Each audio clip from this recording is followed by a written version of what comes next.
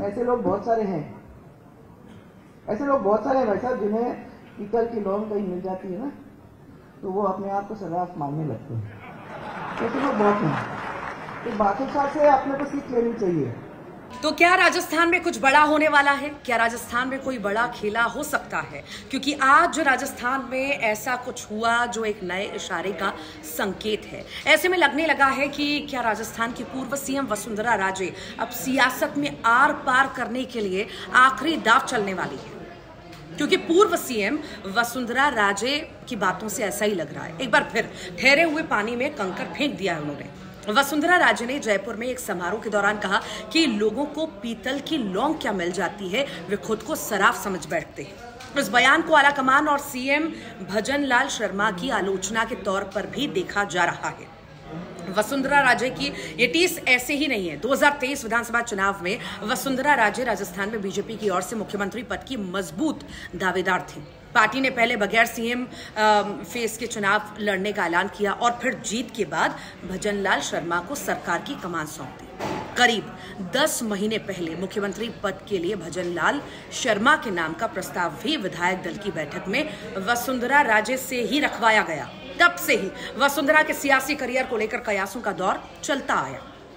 आज ये हॉल भरा है, इसी वजह से क्योंकि आपने अपने पैरों को धरातल पे रखने का काम किया है और ये असंख्य लोग, बहुत सारे लोग जो यहाँ बैठे हुए हैं, वो इसी की वजह से बैठे हुए हैं। नहीं तो क्या होता है भाई साहब? ऐसे लोग बहुत सारे हैं। ऐसे लोग बहुत सारे हैं भाई साहब, जिन्हें पीतल की लौंग कहीं मिल जाती है ना तो वो अपने आप को सर्राफ मानने लगते हैं। ऐसे लोग बहुत हैं। तो साहब से अपने को सीख लेनी चाहिए। और मैं आज यही कहना चाहूँगी कि चाह, चाहत, बेशक, आसमा छूने की रखो। चाहत, बेशक, आसमा छूने की रखो, लेकिन पाव हमेशा धरती पर रखो। ये सबसे बड़ी बात है, भाई साहब। तो वहीं राजे एक बड़ा चेहरा होने के बावजूद मुख्यमंत्री नहीं बन पाए।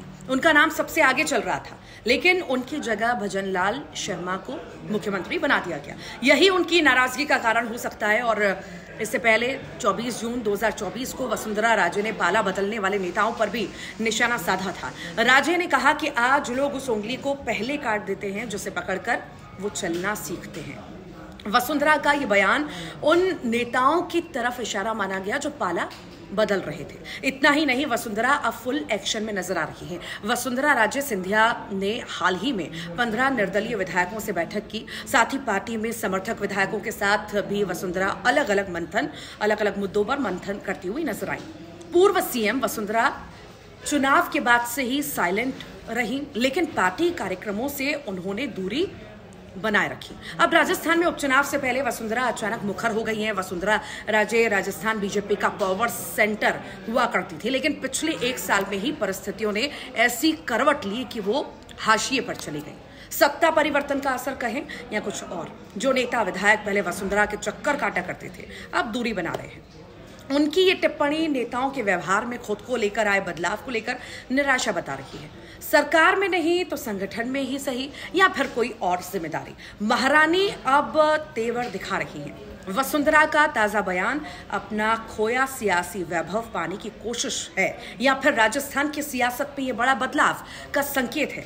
अब वसुंधरा राजे की नाराज़गी के क्या मायने हैं? सवाल ये भी है कि वसुंधरा राजे के साथ कितने विधायक हैं? वैसे कोई भी विधायक खुलकर अभी समर्थन में नहीं है, लेकिन अगर वसुंधरा कोई बड़ा स्टैंड लेंगी तो क्या हो सकता है?